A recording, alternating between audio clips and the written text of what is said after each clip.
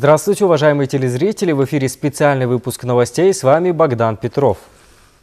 25 июля в стране начались прямые выборы сельских акимов. Напомним, что с инициативой по их проведению глава государства Казымжомар Токаев выступил 1 сентября 2020 года. 174 избирательных участка приступили к голосованию в Северо-Казахстанской области, 10 из которых в Мамлютском районе.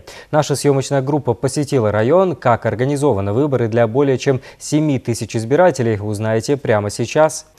Прямые выборы акимов сельских округов свидетельствуют об эффективности общественно-политического диалога в стране. Сегодня в 13 районах области местные жители изберут 70 акимов сельских округов и одного акима города районного значения. Избирательные участки работают с 7 утра до 8 вечера. В городе Мамлютка из трех кандидатов на предстоящие четыре года жители выбирают своего Акима. В 7 часов утра избирательный участок номер 324 распахнул двери для граждан, и они не заставили себя ждать. Екатерина Мустафина первая опустила бюллетень в урну для голосования. Э, я сегодня впервые пришла на выборы Акима. Очень рады, что имеем такую возможность. Хочу спасибо сказать большое нашим избирателям, которые придут голосовать которые пытались э, сделать все возможное, чтобы эти выборы совершились. Будущему Акиму хочу пожелать удачи, чтобы все людские просьбы сбывались. Ну, и чьи-то, возможно, мечты. Для Кристины Нажмудиновой эти выборы запомнятся. Девушке недавно исполнилось 18 лет, и она стала полноправной участницей избирательного процесса. По негласной традиции первым избирателям дарят подарки, и этот момент сделал событие более праздничным. Ощущение какой-то счастье, что впервые я голосую. Я очень рада, что наше государство дает возможность, чтобы э, уже новое поколение с 18 лет могли бы выбирать э, людей для своего же будущего.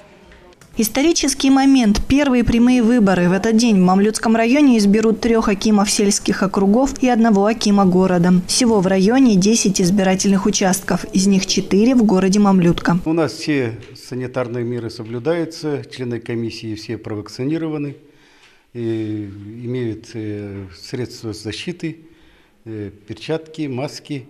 И дистанцию мы соблюдаем. При входе избирателя измеряется температура. Если отсутствует маска, мы выдаем маску и люди заходят голосовать. Ранее акимов городов районного значения, сел, поселков, сельских округов избирали косвенным методом. Кандидатуру предлагал вышестоящий аким, а депутаты местных маслихатов поддерживали предложение путем голосования. Прямые выборы акимов позволят местным жителям самим решать, кто должен руководить их населенным пунктом. Избирательный на мой взгляд, относятся доброжелательно значит, и готовы проголосовать за кандидатов. Проблем в городе много, значит, но они по мере возможности и наличия средств решается, на мой взгляд. Вот.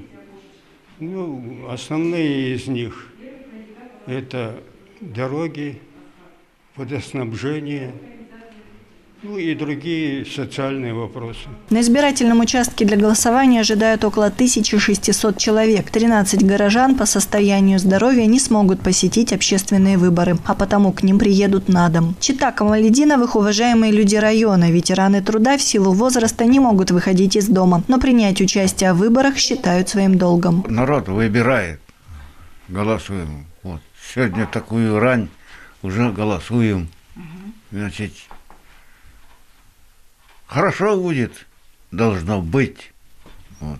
Но как будет, еще не знаем. Надеемся, что они будут добросовестно выполнять свое, и тогда благополучие будет и народа. Более 7 тысяч избирателей по району, многие из которых отдали свой голос в первые часы работы избирательных участков. Большой процент избирателей приходится на город Мамлютка. Город Мамлютка у нас 5366 избирателей. А, у нас выдвинулись и зарегистрировались 12 кандидатов. А, конкурентность э, по округам составила три кандидата на один избирательный э, округ. Значит, четыре кандидата у нас были выдвинуты партией Нуратан. 8 кандидатов в порядке самовыдвижения подали свои документы. Все э, кандидаты, которые подали свои документы в районную избирательную комиссию, были зарегистрированы. А это избирательный участок номер 325. Всего здесь числится 1019 избирателей. За первые два часа посещаемость составила 20%. Отдавая свой голос выбранному кандидату, жители надеются, что их местность ожидают положительные перемены. По Гуденко дорога, по Комсомольская дорога. Вот я тут вот хожу, так там ямы. Вот надо дорогу, дороги сделать. Вот самое основное для меня кажется. Машинами-то разбили, а ходить-то по лужам не хочется. На каждом избирательном участке имеются наблюдатели. Их цель – обеспечение общественного контроля над голосованием и прозрачностью электорального процесса, а также фиксация нарушений избирательного процесса, если такие произойдут. Люди приходят у нас с самого утра голосовать активно. Ну, в основном, конечно, пожилые, среднего возраста.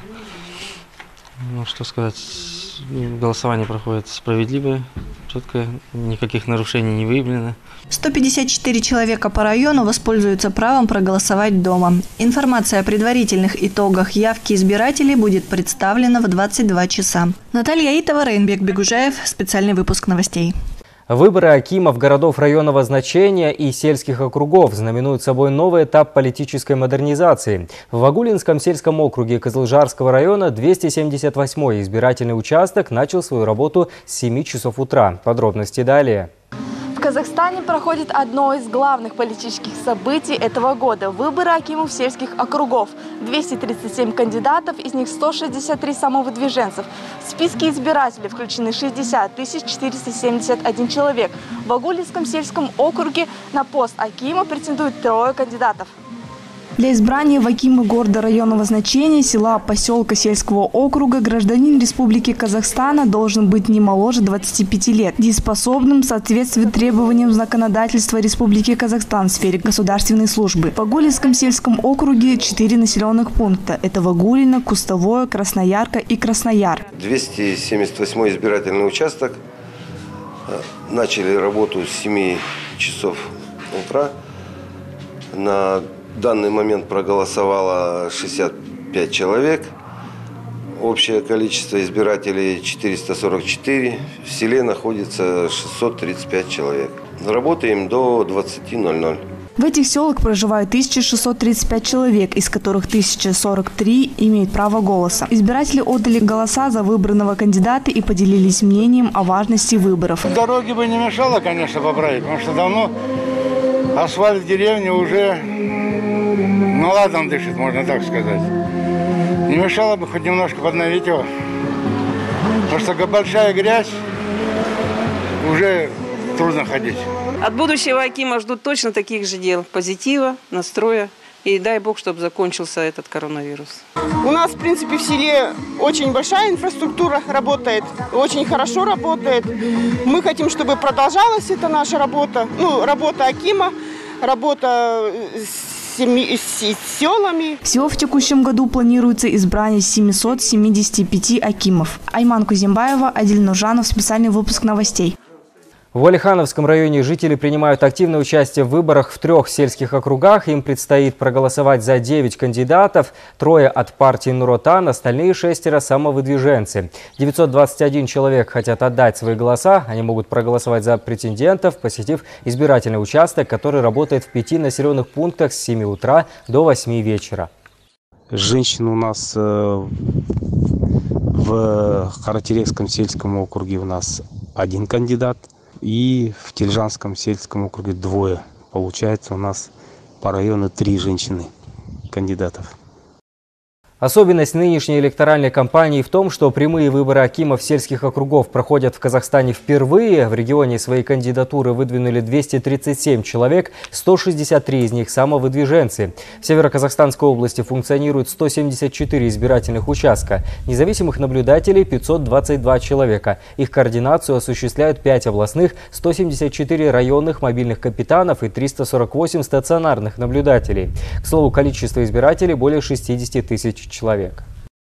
Выборы пройдет в демократическом и легитимном процессе. Население очень активно, потому что наша в области э, более 53% э, населения живет в сельской местности. В общем, все время это население села были активными участниками выборов. Напомним, что выборы проходят с соблюдением всех санитарных норм. Нарушений к этому часу не зарегистрировано. Согласно данным, представленным территориальными избирательными комиссиями области, по состоянию на 14.00 часов 25 июля 2021 года свои бюллетени получили 61,14% от общего количества избирателей, включенных в списки. Абсолютными лидерами по активности электората являются Каинский и Уалихановский районы. Здесь проголосовали уже более 73% жителей. Меньше всего свою гражданскую позицию к данному часу проявили тайншинцы. Всего 44% граждан граждан сделали свой выбор. Это была последняя новость выпуска. Увидимся в 19.00.